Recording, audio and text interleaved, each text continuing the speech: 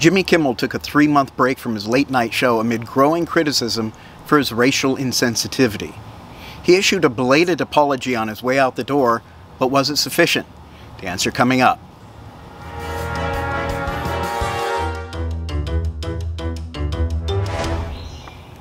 Here's the scoop. Nearly a year and a half ago, video surfaced showing Jimmy Kimmel wearing blackface while impersonating former Utah Jazz power forward Karl Malone. The video set off a firestorm, but Kimmel refused to acknowledge the controversy until audio emerged of him just a few weeks ago, repeatedly using the N word. Now, Kimmel has finally issued an apology of sorts. Explaining his Malone impersonation, he said, We hired makeup artists to make me look as much like Karl Malone as possible. I never considered that this might be seen as anything other than an imitation of a fellow human being. Okay, well, fair enough. That seems plausible. Kimmel did something dignified, something honoring Malone, nothing that could be construed as perpetuating negative racial stereotypes, right? Well, let's take a look, shall we? Karl Malone read on TV about white people getting deducted by alien, sticking all kind of hell up their butt. And that's a damn thing. Now, Karl Malone never seen no flying saucer himself, but if he do, that's gonna be a spooky time.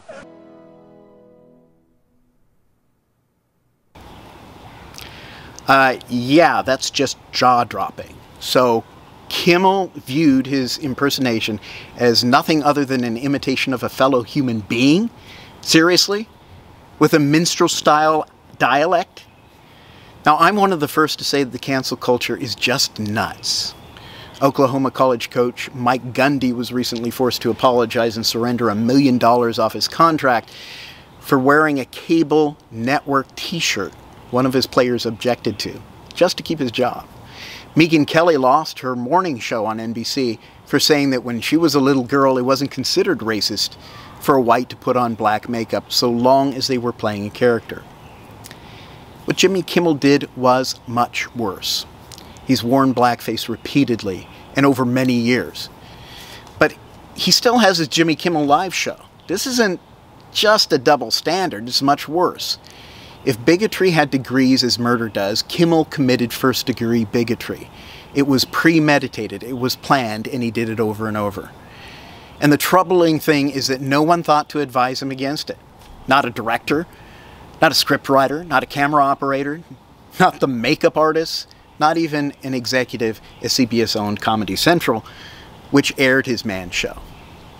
In his apology, Kimmel said, I believe I've evolved and matured over the last 20 plus years. Well, fair enough. It's certainly true that people can change over time. We all make mistakes and deserve, at least I believe, a chance at redemption. Jesus tells us in Luke 17:3, if your brother or sister sins against you, rebuke them. If they repent, forgive them. The problem is Jimmy Kimmel doesn't appear to have repented at all. In 2004, during the halftime uh, of Game 2 of the NBA Championship, Kimmel said he was glad the Lakers were leading because, quote, they're going to burn the city of Detroit down if the Pistons win, and it's just not worth it. And then in 2013, he included a bit on his show where a child joked that all Chinese people should be killed to help erase the U.S. national debt. He said, There's an idea. Kimmel remains as immature as ever. He began his apology saying, I have long been reluctant to address this, as I knew that doing so would be viewed as a sign of weakness and cheer for leaders who use prejudice to divide us. Dude, come on. What are you, for? I'm not going to apologize for something I did wrong because that's what Billy wants me to do? You were the one who used prejudice to divide us. It wasn't your conservative critics who wore blackface, Jimmy. You wore it. You liberal, virtue signaling hypocrite. You should at least be held to the same standard you want to hold others. Remember your sympathy for Roseanne when your network canceled her? Let's take a look.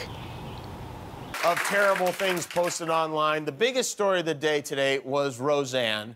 Uh, Roseanne. You're not going to believe this, but she tweeted something outrageous. I know. Yeah, right. Firing Jimmy Kimmel for his offensive impersonation of Malone seems to be, well, a slam dunk. But that's not good enough.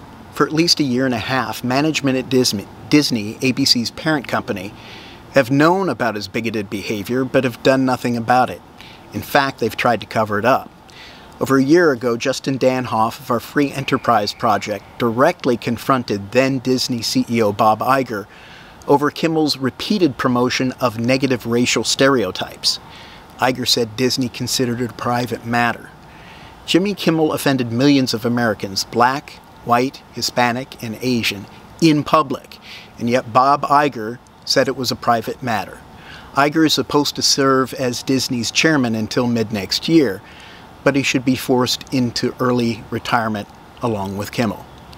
Our Free Enterprise Project holds corporate CEOs accountable for undermining freedom and free enterprise and for betraying the public trust. You can help us by donating today at nationalcenter.org backslash donate, and that's the scoop.